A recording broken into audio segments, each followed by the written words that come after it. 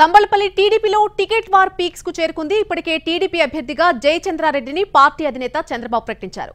అయితే వ్యతిరేక వర్గం మాత్రం నిరసనలతో హోరెత్తిస్తోంది. చంద్రబాబు సర్ది చెప్పే ప్రయత్నం చేసిన మాజీ ఎమ్మెల్యే శంకర్ యాదవ్ మాత్రం నో అంటున్నారు. ఆయన అనుచరులు పార్టీకి రోజుకొక తలనొప్పి తీసుకొస్తున్నారు. ఏకంగా అమరావతిలో చంద్రబాబు ఇంటి వద్దే నిరసనకు దిగారు. రెండు రోజుల క్రితం టీ సదం గ్రామంలో ప్రచారానికి వచ్చిన పార్టీ అభ్యర్థి జయచంద్రారెడ్డిని శంకర్ యాదవ్ వర్గం అడ్డుకుంది. అయినా వినకపోవడంతో కారు అద్దాలు ధ్వంసం చేశారు. ఈ రోజు శంకర్ యాదవ్ అనుచరులు భారీ ర్యాలీ నిర్వహించి సీట్ను తమ నేతకి ఇవ్వాలని డిమాండ్ చేశారు. దీంతో నియోజకవర్గ టీడీపీలో అలజడి నెలకొంది. శంకర్ యాదవ్ యాక్షన్ ప్లాన్ పై పార్టీ రియాక్షన్ ఏంటి అన్న దానిపై క్లారిటీ లేదు. ఇక తంబళ్ళపల్లిలో తమ్ముళ్ళ తగాదాకు సంబంధించి మరిన్ని వివరాలు మా ప్రతినిధి కార్తీక్ అందిస్తారు. తమ్మలపల్లిలో సీటు వార్ అనేది కూడా పీక్స్కి చేరిందని చెప్పుకోవాలి. ఏదైతే సీటు వచ్చినటువంటి అభ్యర్థిగా ఉన్నటువంటి జైతంద రెడ్డి వర్గం కావచ్చు మరొక వైపు సీటు రానటువంటి మాజీ ఎమ్మెల్యే శంకర్ యాదవ్ అనుచరులు కావచ్చు. వీళ్ళిద్దరి మధ్య కూడా రోజుకొక గొడవ అనేది కూడా తమ్మలపల్లి నియోజకవర్గం వేదికగా కూడా కొనసాగుతూనే ఉంది. తాజాగా శంకర్కే సీటు ఇవ్వాలంటూ కూడా ఈ రోజున తమ్మలపల్లిలో అతిపెద్ద ర్యాలీ అనేది కూడా ఏదైతే శంకర్ అనుచరులు అనేది కూడా నిర్వహించడం కూడా జరిగింది.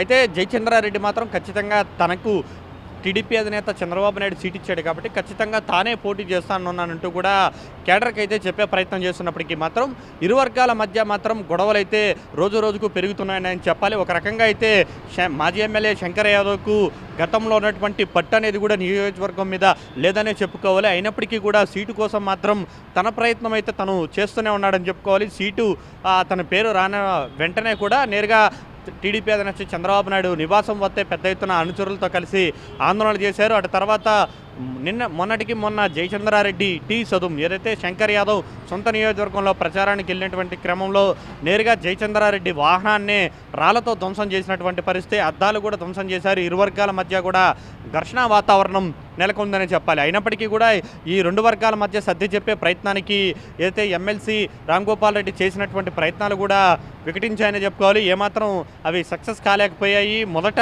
ఆయన వచ్చి చెప్పినప్పుడు వెంటనే కూడా అంగీకరించినటువంటి శంకర్ యాదవ్ అనుచరులందరూ కూడా తిరిగి ఆయన వెళ్ళిపోయిన వెంటనే కూడా మళ్ళీ రోడ్డు బాటనే పట్టారని చెప్పుకోవాలి. అయితే శంకర్ యాదవ్ మీద మాత్రం మెజారిటీగా అక్కడ ఉన్నటువంటి టీడీపీ నేతలు అయితే వ్యతిరేకత అయితే వ్యక్తం చేస్తూనే ఉన్నారు. ఎందుకంటే రెండు వేల పద్నాలుగు నుంచి పంతొమ్మిది వరకు గెలిచిన తర్వాత ఏ విధంగా ఉన్నాడు?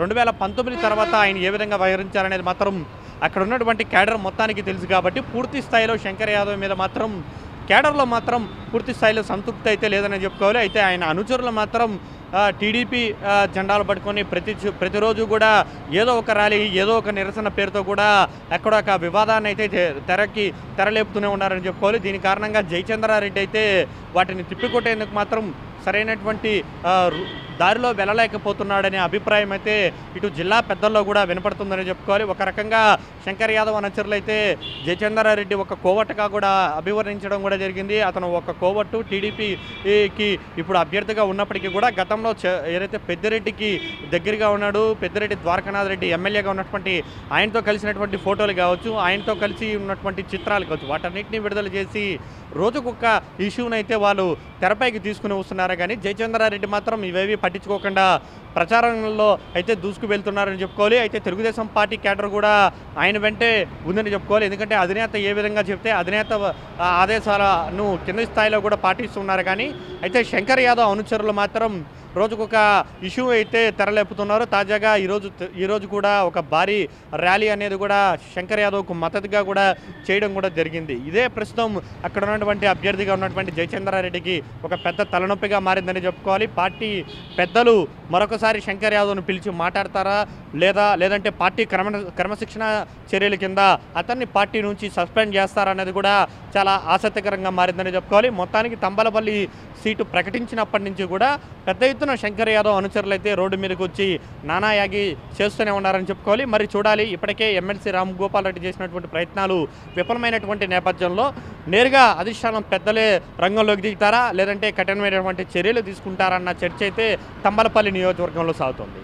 కెమెరా పర్సన్ చరణ్తో కార్తిక్ ఎన్టీవీ